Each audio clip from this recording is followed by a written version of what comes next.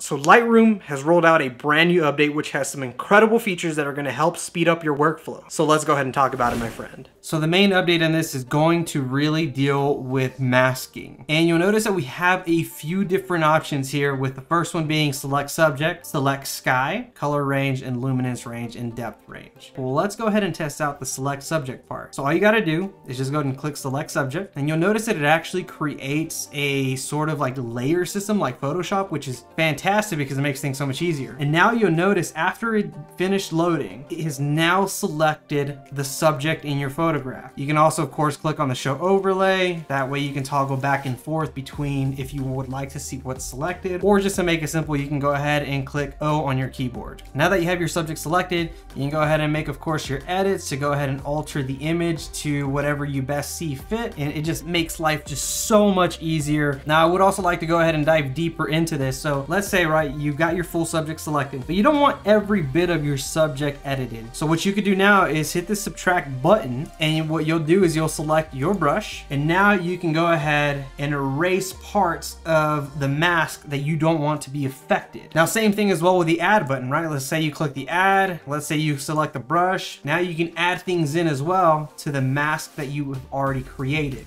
Now I did also mention that this is like a layer system like Photoshop, right? So let's go ahead and click on create new mask. Now you do have, again, different subjects here. So this time, let's go ahead and try out the, let's see, the linear gradient. Let's do that. So now I've selected linear gradient, go ahead and get that created. Now you'll notice that it creates a completely separate masks from this. So personally myself, I love to work in layers. It keeps things a lot more organized. It's easier to go ahead and work with these types of tools. And just to make things a little bit easier, you can also go ahead and double click it and you can go ahead and change the name of that layer. Now I am curious, you know, whenever it comes to a little bit of more complex images with a lot of things going on, how is the subject selection going to hold hold up. Let's go ahead and try just a few more different images and see how it performs. So here's an image that has quite a bit actually going on. We got a lot of things going on in the background. So again, we're gonna go ahead and click on the masking. We're gonna go ahead and select the subject. And now we're gonna just give it a few seconds and see how it does. Wow, okay, I'm really impressed by this. So let's just go ahead and uh, pixel peep and, and see what it's like. Okay, so not too bad. It may have grabbed a little bit right here from the background, maybe around the brim of the hat.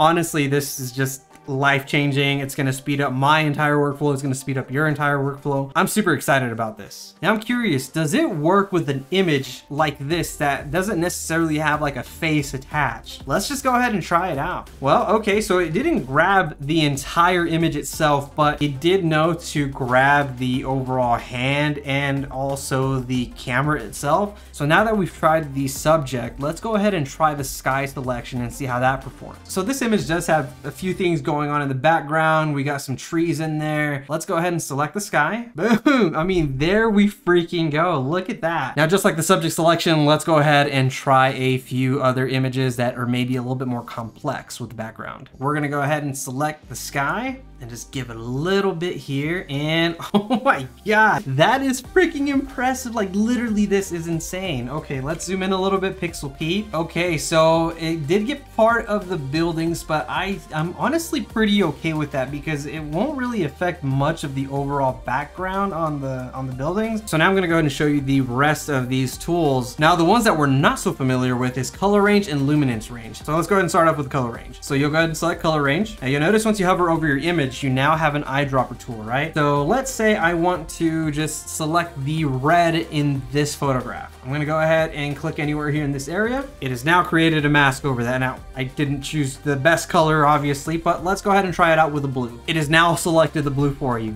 How freaking incredible is this for Lightroom and for your workflow? Okay, so now the next option is gonna be the luminance range. So we're gonna go ahead and select luminance range. Now, once you go back to the image, you're gonna notice again that the eyedropper is now on your photograph. And basically what the luminance tool is for is to help you choose those like really bright areas in your photograph to make it easily more adjustable. So for example, let's go ahead and click on the brightest area of this photograph, which is gonna be the sun itself. And now you'll notice really quickly, it has grabbed every bit of these super bright areas within your photograph. Now you do have your luminance range right here in this little toolbar, which you can of course slide and adjust, which will affect the overall selection that it has chosen. You can also go ahead and check mark this show luminance map, which will show you what is selected out of your photograph. This honestly makes it super easy to see kind of what's going on. So those are the main changes that were done to Adobe Lightroom Classic. Now, if you did learn something by watching this video, make sure you leave a like, make sure to subscribe if you'd like to see more content, and as always, stay creative, my friend.